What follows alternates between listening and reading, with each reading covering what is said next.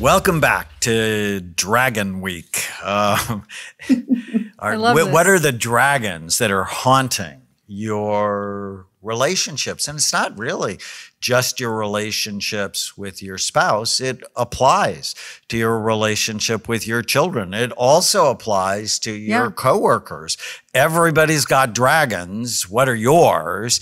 And it, it just, when you realize that, it helps you be kinder to people that may be struggling because it may not have anything to do with you. Mm-hmm. It may have to do with some of the dragons or their pain in the past. We're here with Dr. Sharon May. We're so grateful for your time. And I was just thinking, um, with Tana. So I've written 14 public television specials. I have a new one coming out in March. Uh, and I write every word of the scripts. And people go, Oh, it just looks so easy for you. And I've probably written each script a hundred times. uh, I obsess over them. And I always read them to Tana.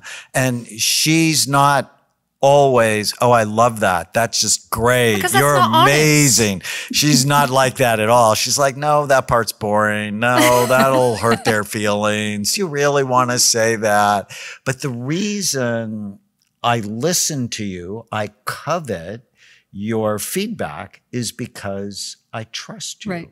Right? Mm-hmm. That we have a foundation of trust. So I know that's a big issue that you work on with your couples. How, how do people develop trust? And thank you again for having me on your program. I have so enjoyed this week being with the two of you. And again, thank you for your work and impact on people's lives, helping us keep our brain healthy so we can live and love well.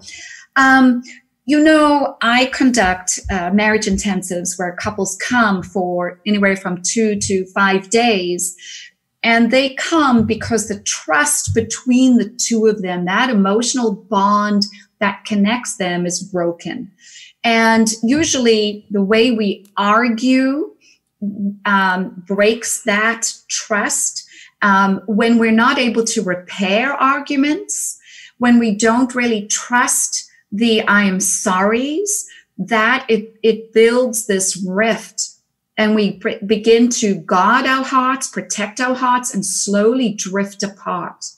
And if you find yourself in a marriage where you watch what you say, you walk on eggshells, you're a little bit nervous about, oh, you know, date night is, you know, I know we're going to get in an argument, uh, but I'm not sure if I want to go home early tonight.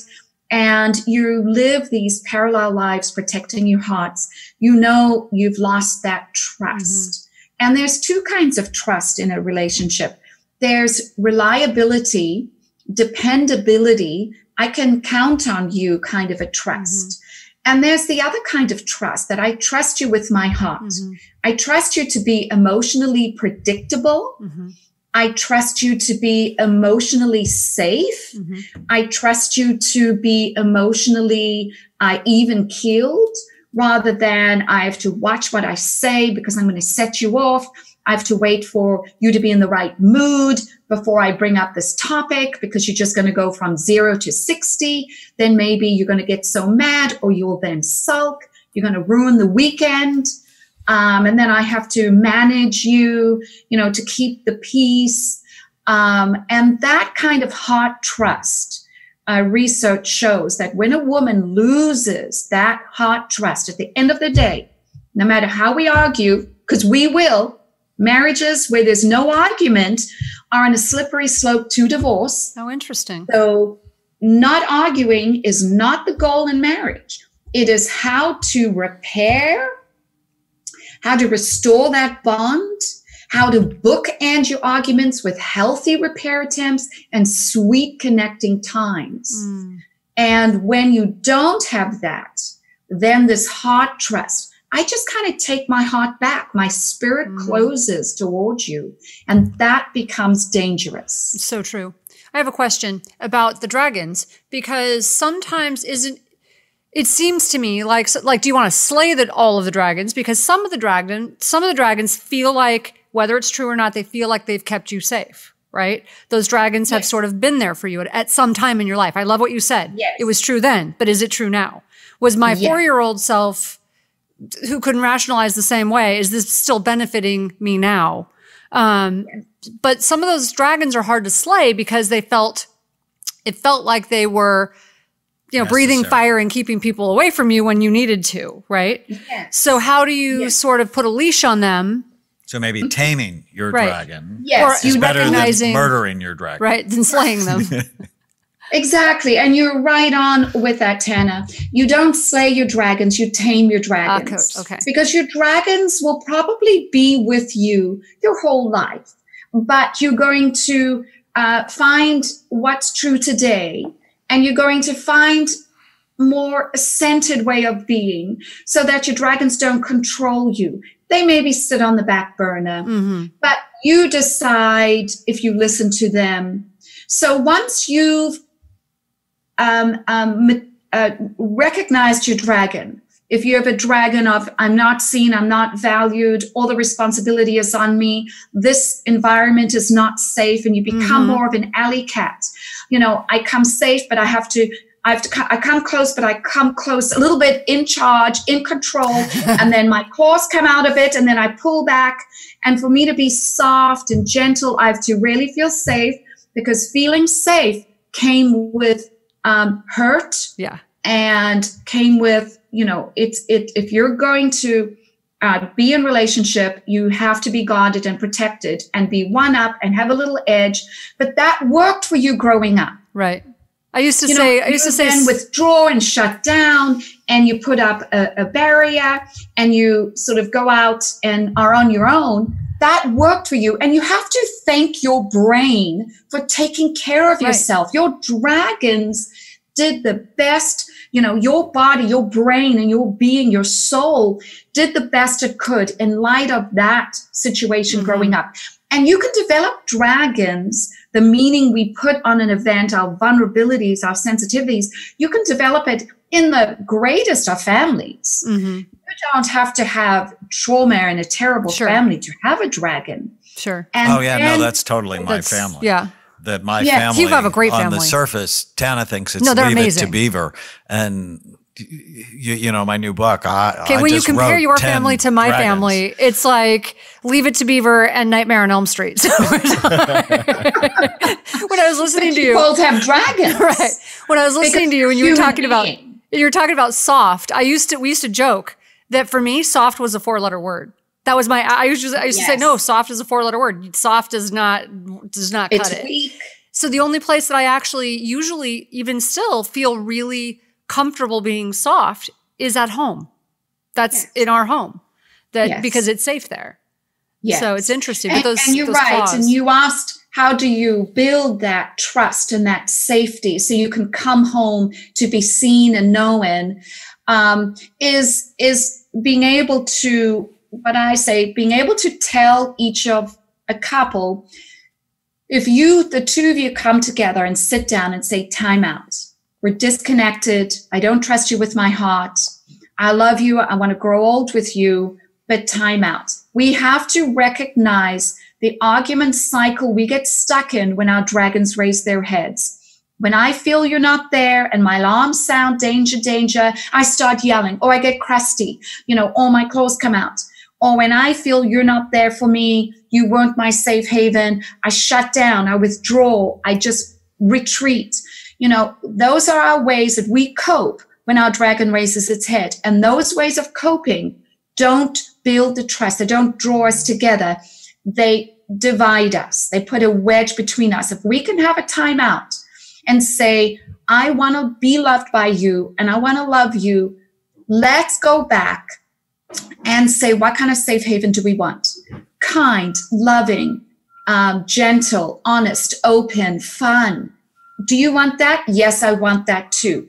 Now, how can we make it safe? And the one way you can instantly make your relationship safe is when the two of you turn to each other and say, I want to be a better person.